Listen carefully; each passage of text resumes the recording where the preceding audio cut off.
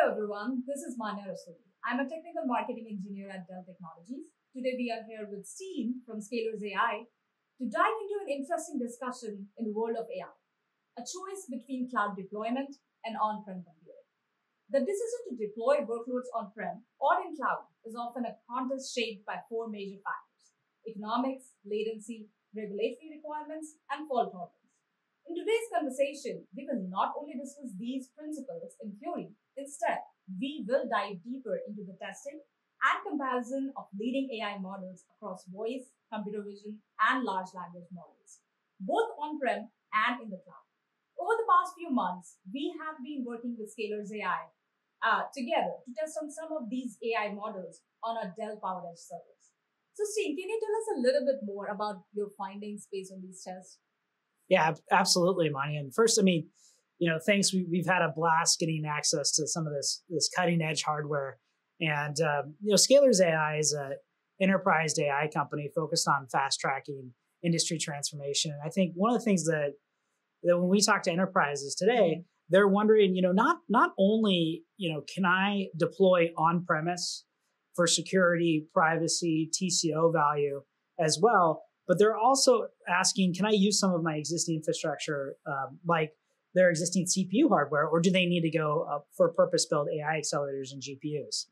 And um, what's what's really excellent about um, this work we collaborated with you on is we, as you said, took those leading um, voice, language, and vision models, and we put them to the test, both on-prem and at the edge. And um, you know, we saw um, some really really compelling results uh, mm-hmm. on that front. Um, and again, we ran it just on CPU.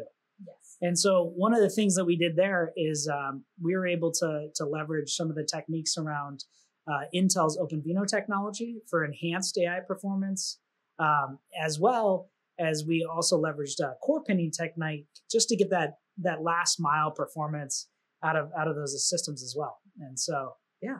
Yeah, you said it right. And this was done on Dell PowerEdge R760, which is powered by Intel's 4 Gen Xeon scalable processors. And it's optimized with the OpenVINO toolkit. So yeah, that's just amazing performance results that we're getting on Intel CPU. Yeah.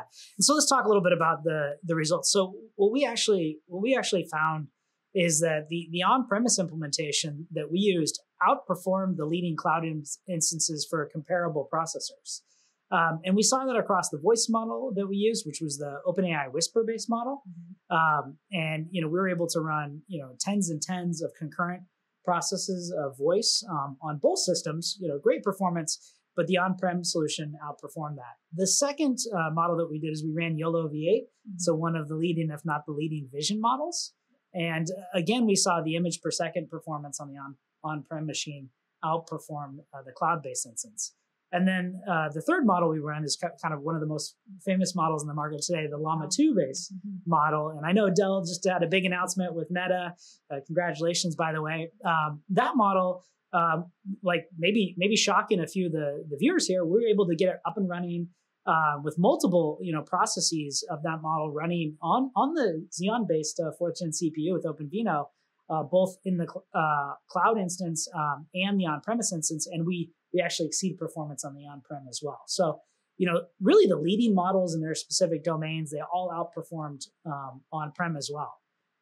That's just amazing itself to know that how we can compare between cloud and on-prem so customers have a clear picture yeah. based on this testing that we have done. And just like slightly changing gears from performance, what do you think like where do you see a real life use case scenario for these three voice, vision, and Llama model? Where, where can we use this in real life? Yeah, so, um, you know, through this uh, work that we are able to, to collaborate on, we actually built a, a small uh, demonstration of you know, a use case where you'd want to integrate those three modalities. And uh, the use case we, we selected was a, a pharmacy drive through use case. And in this scenario, um, security is a major factor. The latency, because you've got real human um, interaction, um, is a real factor as well. And uh, so what we did here is we actually use the computer vision model to detect a car as it arrives. And then we use the language-based model to, you know, communicate with the voice-based model to ask things like, "Help your date of birth," so they can get your contact information and ring up your prescription as well. And so that use case, you know, the seamless kind of integration of voice capability, language capability, and vision capability can be used, you know, in, in things like, uh, you know, modern, you know, drive-through pharmacy use case. Um, and that scales really well to like the quick serve retail market as well, which has seen a lot of adoption on making sure that they can serve their customers faster as well. And I think to that point, it's not just like this is an excellent use case, but like this kind of technology, I think it's game changing for the retail industry it can be deployed in so many other use case scenarios for the drive-through pickup solutions. Yeah. And with R760XA, like it provides robust performance. We have seen that. And it offers like multi-factor authentication. So it kind of ticks off all the security concerns that people might have. Yeah, absolutely. I mean, the, the cloud provides a, a great hyper elastic platform and is great for a lot of use cases.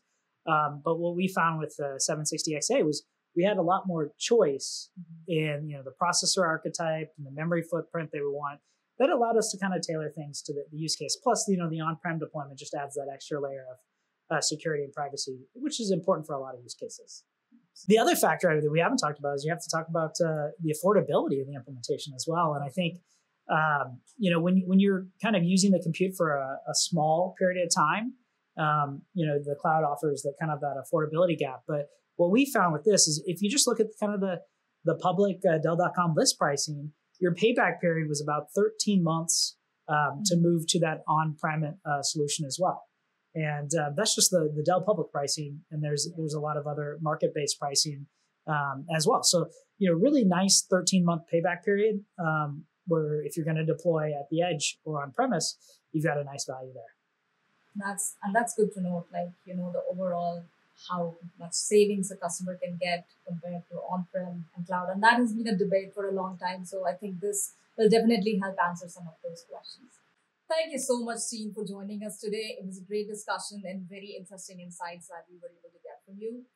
And to all our audience, we invite you to explore more about Dell's edge computing solutions on our website and on how they can transform your AI deployments.